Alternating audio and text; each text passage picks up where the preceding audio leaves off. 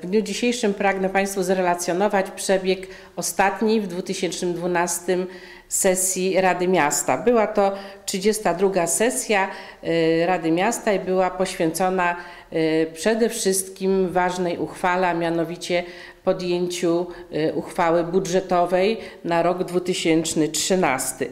Ale oprócz y, tej bardzo istotnej, ważnej uchwały i dyskusji, która towarzyszyła jej podjęciu, istotnymi, programi, istotnymi punktami 32 sesji Rady Miasta, jak zwykle było przyjęcie protokołów z sesji poprzednich, sprawozdanie z pracy z burmistrza miasta Lubań w okresie międzysesyjnym, zgłaszanie wniosków i zapytań pod adresem pana burmistrza, no i te dwa główne punkty, które towarzyszą zawsze przyjęciu uchwały budżetowej, a mianowicie debata nad y, projektem uchwały budżetowej miasta na rok 2013 wraz z debatą nad y, wieloletnią prognozą finansową Gminy Miejskiej Lubań na lata 2013-2018. W porządku obrad były również uchwalenia planów pracy stałych Komisji Rady Miasta Lubań, jak również planu pracy na pierwsze półrocze Rady Miasta Lubań seria uchwał, które y, również podjęli radni w tym dniu, jak również y, w tym dniu y, otrzymaliśmy odpowiedzi na zgłoszone zapytania i wnioski ze strony radnych Rady Miasta. Szanowni Państwo, tak jak już wspominałam, dyskusja wokół uchwały budżetowej, jak również wokół wieloletniej prognozy finansowej zdominowała przebieg sesji. Y, wysłuchaliśmy stanowiska Regionalnej Izby Obrachunkowej wyrażonej y, przez przewodniczącego Komisji Budżetowo-Gospodarczej, pana radnego Jana Hofbauera. Y, zapoznaliśmy się również ze stanowiskiem tego gremium w kontekście wieloletniej prognozy finansowej wypowiadali się radni, y, mając wiedzę, którą y, zdobyli, analizując y, przedłożony przez pana burmistrza projekt budżetu na rok 2013 i na komisjach merytorycznych, jak również w trakcie obrad sesji.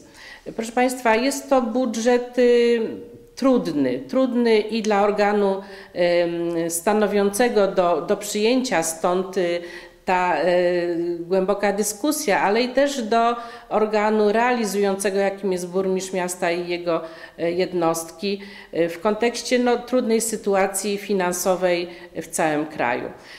Proszę Państwa, ten budżet został przyjęty większością głosów. Były głosy wstrzymujące się, które, których to mm, decyzją Platformy Obywatelskiej y, głosów wstrzymujących nie dostał stuprocentowego poparcia.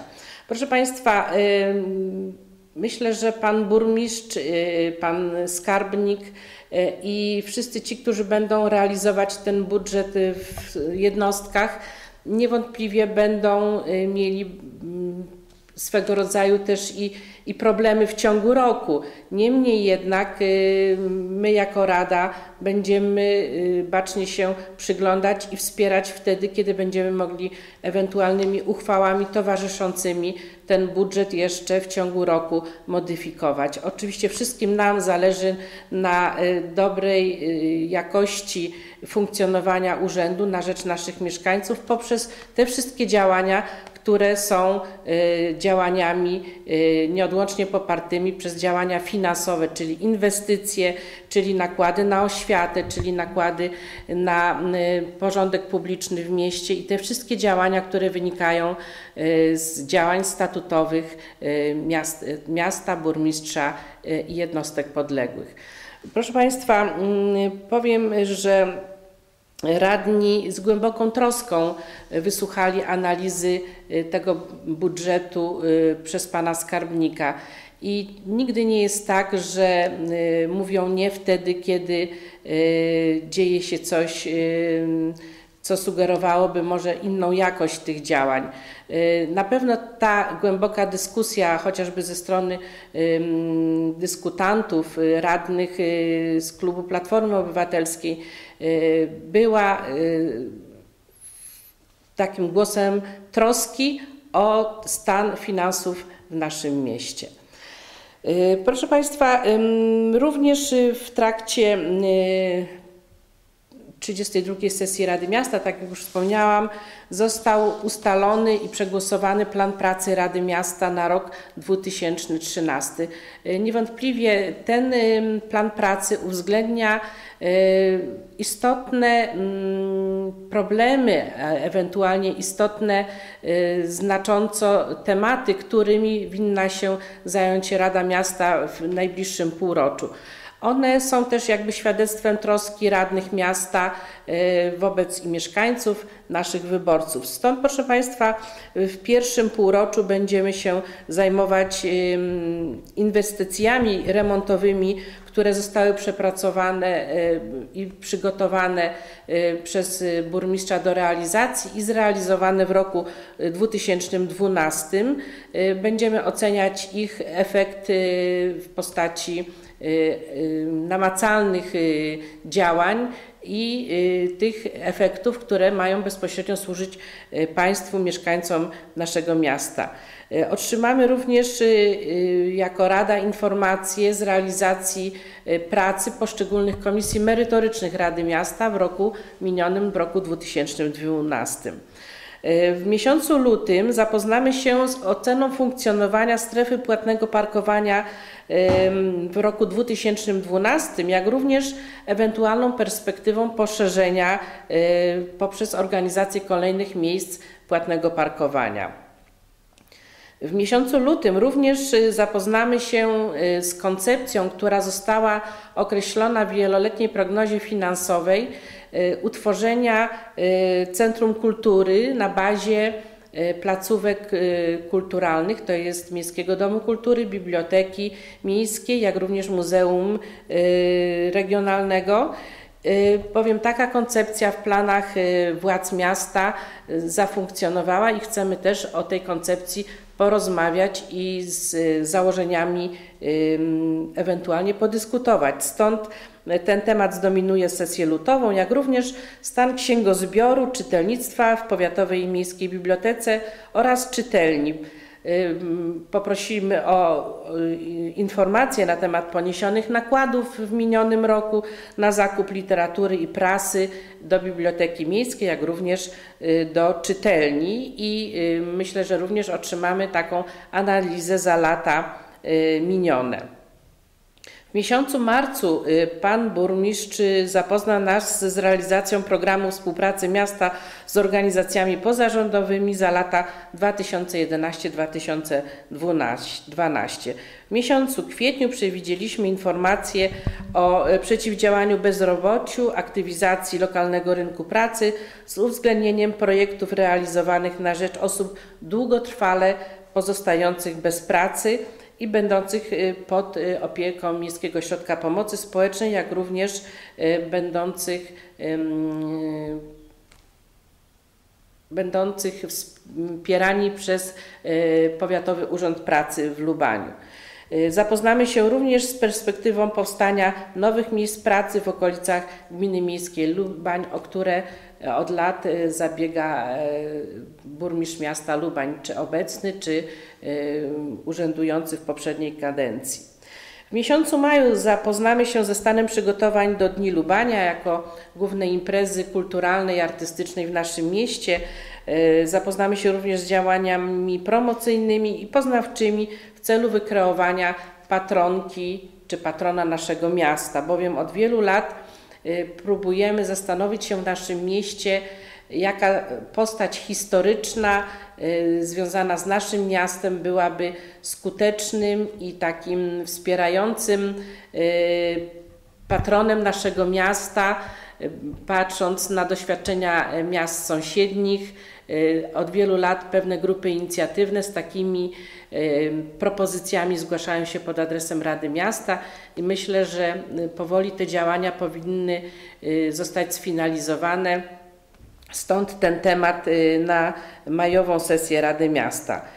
Zapoznamy się również w tym miesiącu z podsumowaniem roku 2012 i planami rozwoju spółki Przedsiębiorstwa Energetyki Cieplnej jako spółki będącej w strukturze naszego samorządu.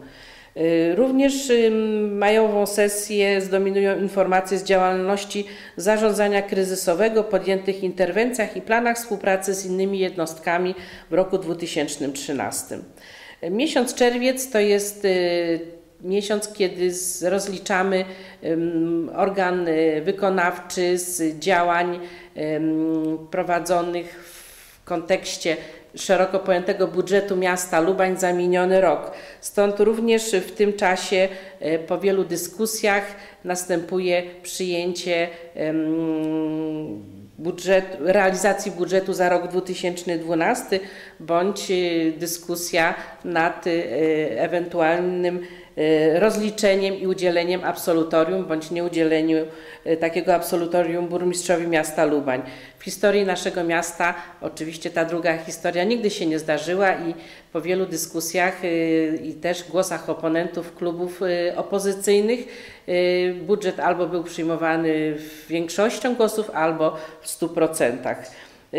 W tym miesiącu również przewidzieliśmy informacje na temat stanu przygotowań do organizacji wypoczynku letniego, na temat turystyki wyjazdowej i pobytowej w naszym mieście, organizowanych przez jednostki samorządu, jak również organizacje pozarządowe.